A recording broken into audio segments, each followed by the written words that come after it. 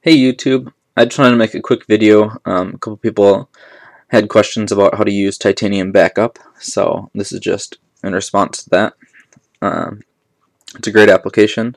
Basically, if you are doing a lot of um, installing custom ROMs or um, you know switching ROMs a lot, then this will be very helpful to you.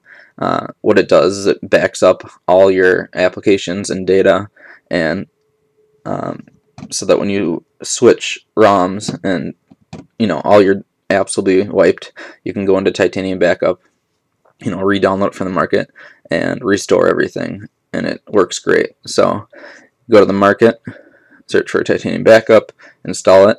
Uh, your phone does have to be rooted, obviously. Um, I don't know why you would ever want to use this if your phone wasn't rooted, but it has to be. Okay, so I already downloaded it. It's free. There is a paid version um, I don't know. I've never used that one. So, anyways, so you're going to open it up. If this is your first time using it, um, a couple screens will pop up. You just have to hit OK through them. And to back up all your stuff for the first time, what you're going to do is you're going to hit Menu and Batch. Okay?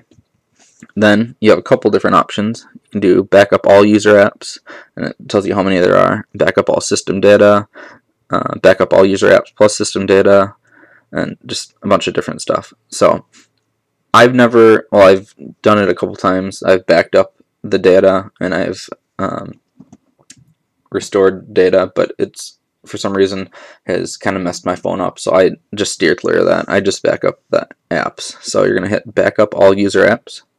And right here it'll show you a list of all the apps that it's going to back up. If there aren't any, or if there are some on here that you don't want, just uncheck them.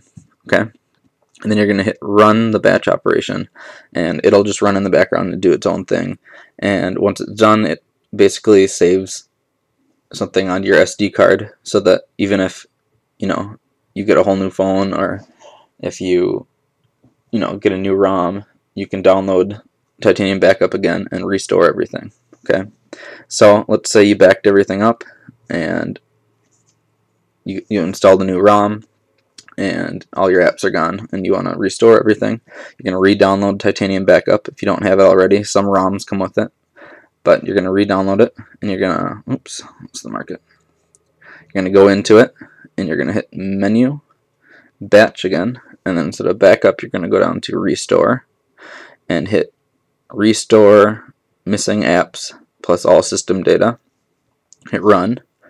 Okay, and if, like I said, I suggest just backing up your apps. You can back up your data. Basically, what the data is, it, it'll back up, you know, what your wallpaper was, what accounts you have. Um, I think it does text messages, that kind of stuff. But like I said, it's been screwy for me in the past, so I just do apps only. So click apps only.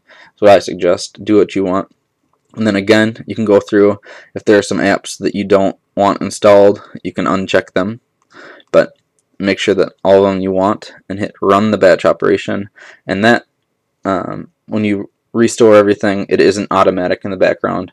You'll have to sit there and it'll say, do you want to, you know, install Skype or, you know, whatever applications you have checked on here. You'll have to hit install and then done for each one.